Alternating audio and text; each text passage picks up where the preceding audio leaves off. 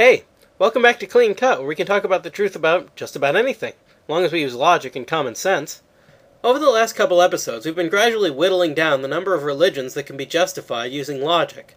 So far, we know that the most accurate religion is one of the Christian religions which doesn't acknowledge the others as equals and doesn't believe that the Bible is the only legitimate source of truth. It also needs a clear, verifiable connection to its founder, Jesus Christ. Only three Christian religious types seem to fit this bill the Roman Catholic Church, the Orthodox churches, of which there are several, and Anglicanism. The Roman Catholic Church has a long, well documented history, dating back to the days of the apostles themselves. It claims to be absolutely supreme among churches, and its claim is based on several factors, but the most obvious one is the primacy of Peter among the apostles. St. Peter was appointed the leader of the Church of Jesus, a scene which is well documented in every translation of the Bible, and he proceeded to go to Rome, becoming the head of the church in Rome, where he was crucified upside down.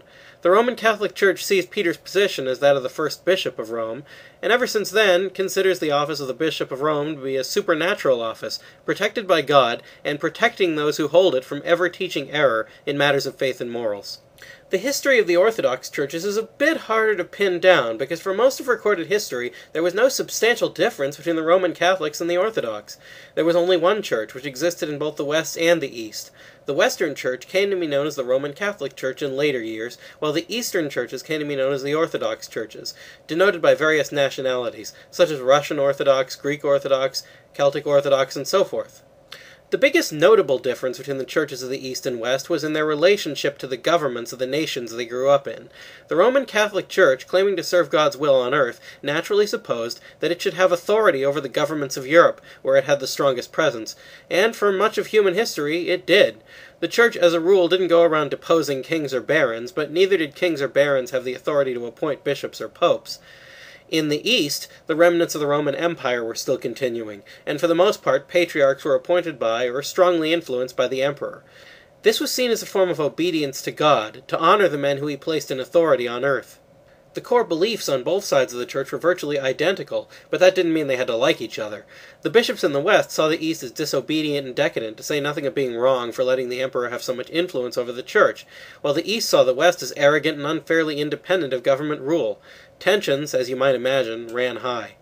At last, in 1054, it all came to a head. The Patriarch of Constantinople and a representative of the Pope both attempted to kick each other out of the church, leading to a break in the church. Though this misunderstanding has since been corrected and both of the decrees were declared invalid, the break remains. Anglicanism is a much more recent arrival. In the time just slightly after the splintering, in 1517, a king named Henry VIII wanted a divorce, and he was willing to do whatever it took to get it. In the end, he approached the bishops of the church in England and said, Make me the head of the church, or I'll take away all your property. All except one of them agreed. A bishop named John Fisher refused to give in to Henry's demands, and was beheaded for it a short time later. Not long after that, a huge persecution began in England, in which many more Catholics were executed for their faith. And that basically was how the Anglican Church began. The problem with Anglicanism is this it's not possible for anyone to be the head of a Roman Catholic Church unless they're ordained to the priesthood. King Henry wasn't even a priest, so he couldn't possibly be a bishop or the head of the church. Even during the worst times in the East, Caesar never tried to claim that he himself was the patriarch. This is the reason why both Catholics and Orthodox alike acknowledge that Anglicanism is not fully part of the Church. They have ceremonies and representatives, but their priesthood can't possibly be valid because the head of that priesthood for quite some time wasn't even a priest. However, there's one more problem which threatens to lay down one last dividing line between religions.